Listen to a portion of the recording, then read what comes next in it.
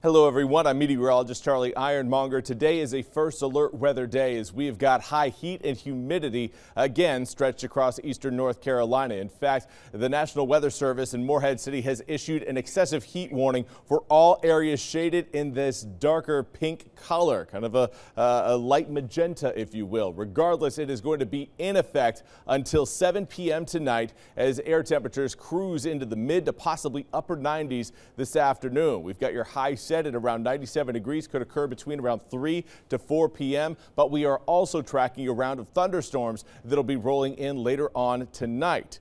Those thunderstorms could cross I-95 as early as around 5 p.m., but I think more of the activity is going to save itself until we get to around maybe 7, 8, 9 p.m. tonight. And then folks along the coast likely seeing those showers show up anywhere from 9 all the way to around 1 a.m. So some of those raindrops will be lingering with us, uh, but again, it's going to be hot out there. Also looking at some activity in the tropics. Really quickly want to go over what we're seeing uh, as of uh, about noon. This area of low pressure, this is light small disturbance really, not even a full low pressure system yet, but this disturbance is expected to continue to work its way pretty much westward across the Atlantic Ocean, but over the next seven days, very low chance of showing any signs of major tropical development. It does have a chance, but that chance set right now at just 10%. Let's focus in on the other system. Right now, this disturbance you can see kicking up quite a bit of moisture uh, right along the coast of Africa there. It is expected to work its way off into the Atlantic within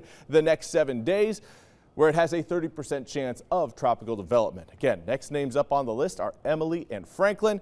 We'll see if either of those systems can gain those names. But Right now, we've got our eyes on some frontal systems that are going to be moving through eastern North Carolina here in the short term. Planning on seeing this cold front move in later on tonight, giving us not only a cool down from today's excessive heat, but we're also anticipating a little bit of some rain rolling in, and maybe I'm underselling it there with a little bit. We are anticipating strong to possibly severe storms later on tonight. Severe wind gusts will likely be the main threat we are faced with, but the tornado threat is low, particularly for areas uh, closer to the Virginia line. As further south you go, the lower that tornado risk gets. But the good news is we are looking at a high pressure slowly starting to push that cold front out to sea. That won't fully happen, though, until we get into the weekend. Until then, we are going to have to deal with some scattered showers predominantly along our coastline here, uh, not only for your Wednesday, but through your Thursday and Friday as well. By the time we get to the weekend, though, things are not only looking sunny and dry, but we're also going to be fairly comfortable. Highs around the 90 degree mark with overnight lows near 70 degrees.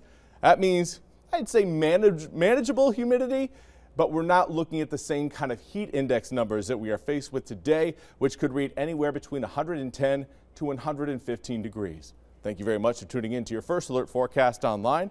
I'm meteorologist Charlie Ironmonger, and I hope you all have a great day.